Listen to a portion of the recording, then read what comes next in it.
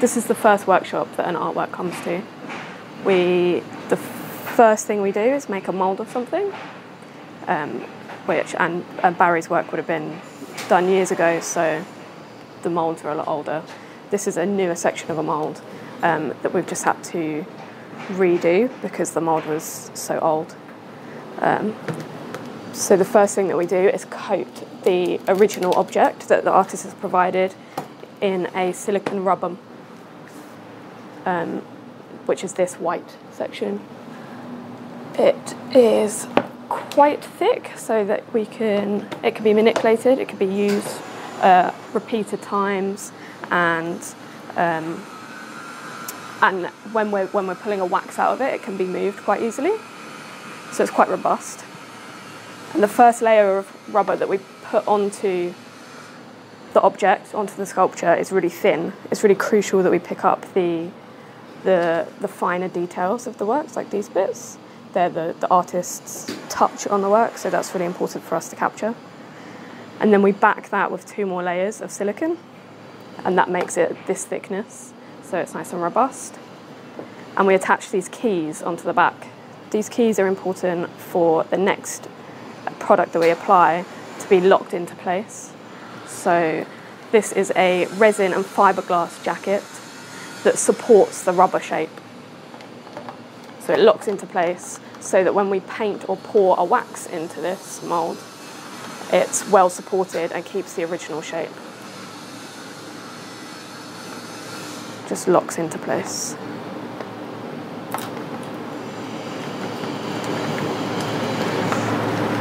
So, this mould is a two piece mould. These two sections come back together like so. So it's quite, it's quite sturdy. We've drilled holes in it so that there can be nuts and bolts drilled through and squeezing the rubber incredibly tight so that you don't get seam lines.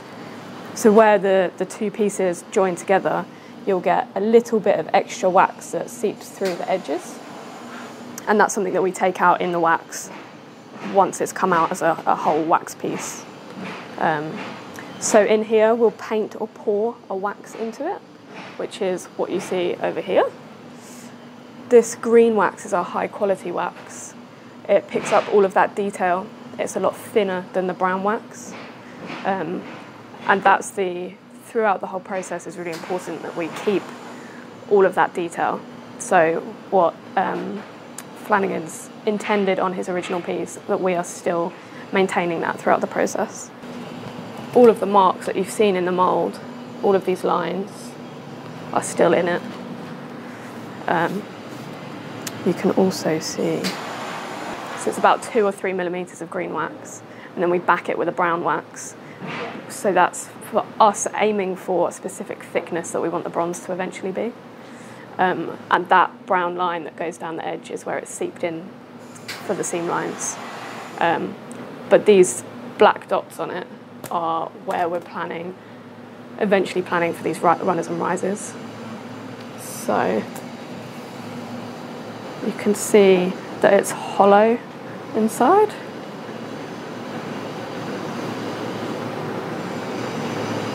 So we've aimed for at least five millimetre thick of wax, and that's what we want the bronze to eventually be to. This section here has been cut out of the top. And that is so that in the next step of the process, um, the ceramic dry, the ceramic shell can dry. So you just need a lot of airspace. So the ceramic shell can be poured in and it can come out and have the airflow.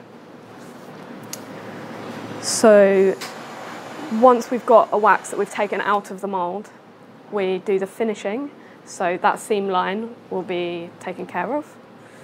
And then we make it look like the original object if there was any any slight alterations in it where you might get a tiny little air bubble in it um, because the wax when we paint it in is 130 degrees.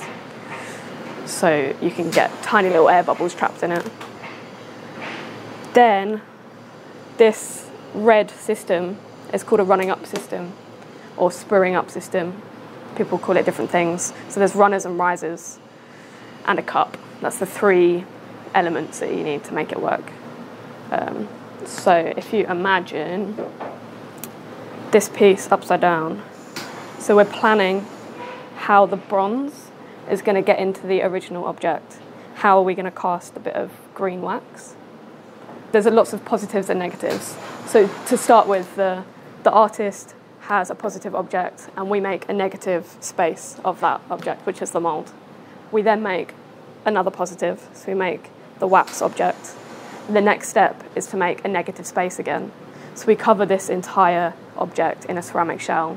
The wax gets melted out and you have a negative space within a ceramic, which the bronze gets poured into. But that bronze can't be poured into it unless it's got a system in place to get it into that job. So it works upside down. This cup ends up acting as a funnel.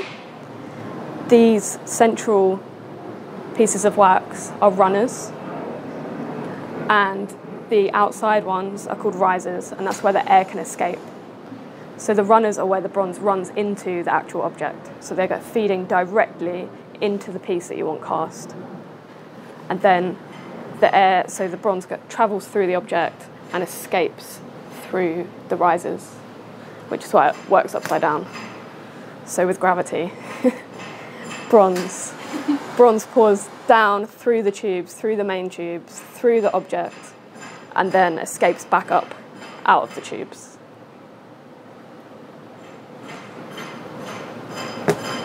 So that's the main bit of planning that we have to do in this workshop. So this is the next step of the process, is that every object comes down to this workshop. It's called the shell shop. It's called shelling. This tank is essentially a liquid ceramic. Um, it's continuously turned because otherwise it solidifies in there. Um, every object that comes down has about 12 coats of this applied. The first couple of layers are really fine. There are a lot thinner versions of this. We sieve, uh, sieve it out and sieve any uh, bits of uh, bits that have already been set out of there, um, and they get poured or painted onto each wax object. So that's the first step. The second step is that a very fine version of this grit, which is in these buckets. So you have a really fine liquid followed by a really fine dusting of fused silica for the first couple of layers. And then you just use what's in the tank and what's in these um, trays. So this happens on repeat for about two weeks. Every object comes downstairs, it gets dunked in here, and it goes into this giant airing cupboard. This dries it off and keeps the wax cool whilst it's waiting for its next step. Then it comes back around and repeat for yeah, approximately two weeks. So this is the cooling cabinet. Everything has its, so essentially you want to, each layer of the ceramic shell to bond to each other very well every time you reapply. So it comes in here to dry off and then it's ready for its next coat. These pieces are about halfway through their process. So you can already see that it's quite built up, it's quite thick already. Um, so that's everything. That's the actual object that you want cast and all of the runners and risers that are all being coated in the ceramic shell.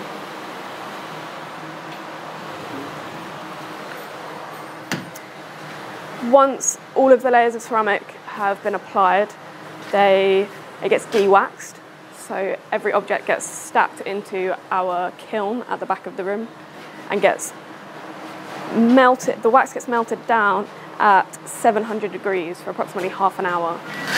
So objects get stacked in here and uh, the fire bricks are taken out so that we can catch the wax in the bottom in the tray, which is under here. See sections of wax that have been melted out of each piece. Once that's happened, it comes out of here. It gets reinforced. Sometimes when the the ceramic's been fired the first time, you might see like hairline cracks in it, and that gets reinforced. We use a, a thicker version of that ceramic um, to, we call it a putty. So it's quite a gloopy version, and we we stick it around the edges of things, or, or like on the cracks, or wherever we think that there might be a weak spot. Then it comes back into the kiln.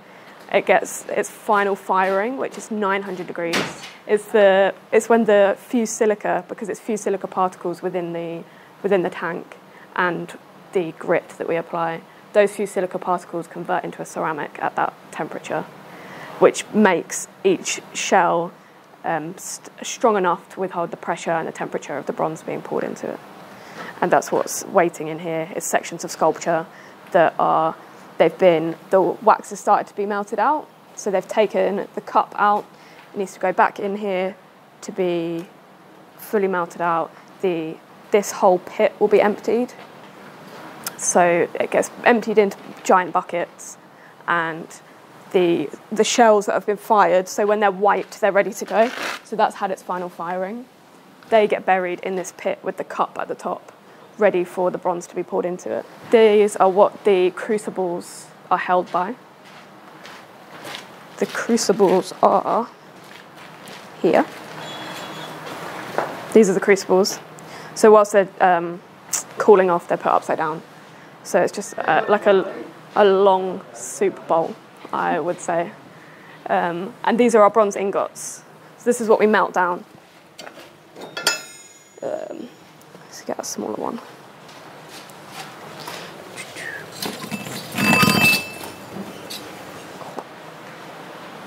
So if we're doing a full tank, those ingots get um, stacked. We want to melt as much as we can at one time.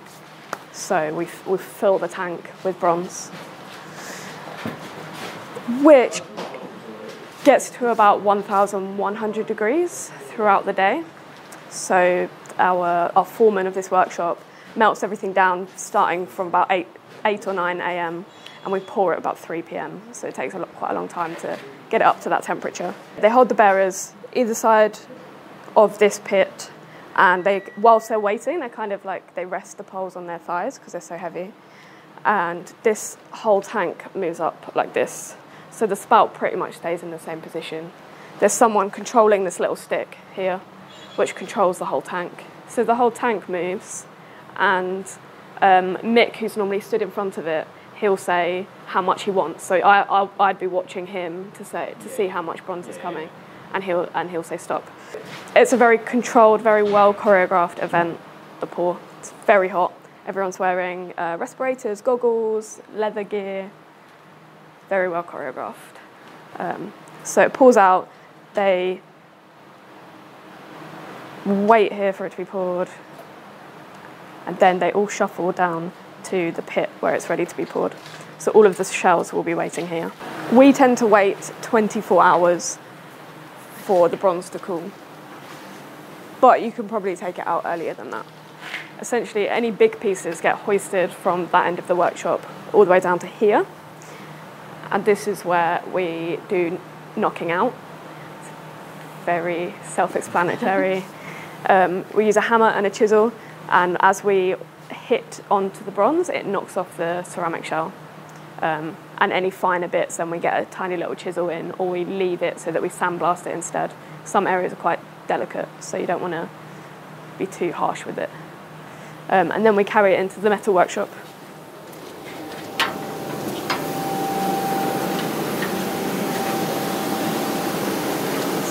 So this is what the bare bronze looks like when it's not been touched. All the runners and risers have been cut off, which is called fettling and so you can see like stubby areas like this. Um, these areas here are where they've been fed. All of that gets chopped off. It gets sandblasted to get rid of the majority of the ceramic shell. And then it's ready for a more experienced metal worker to pick it up. I use tools like this, which stand in front of that. Um, it's just an air tool, rotating air tool, like a dentist tool. Um, and we have larger ones as well for larger, larger bits. So say we've got a couple of sections that have been welded together um, and you want to chase it back so that any excess metal that you've added through welding, you want to chase it back with finer detail. And these, these tools enable us to be able to recreate that de detail through comparing it to the original and through pictures larger pieces might have fittings and fixings attached to the base, or um, depending on where it's going, it might need um, to be attached to the ground, or any of those extra things. They happen to the bronze. We we add them to the bronze before it's been patinated. So patination is the process of colouring the work. So Barry's got a very specific patina that he likes, and it's quite a, a greeny black, so it's got a bit of a green base to it. Um, so we apply the chemical which has been diluted in water, either with a paintbrush or by spraying it on. Um, and you can accelerate the process through heat, so you might use a blowtorch. Once you've got to your desired colour and it's cooled off, then you wax it to seal that colour in. And then once it's been waxed, you can give it a buff, which shines it up slightly and um, I think probably enhances that, that depth colour in. So this piece has been patinated and been waxed already and it's pretty much ready to go. It's done.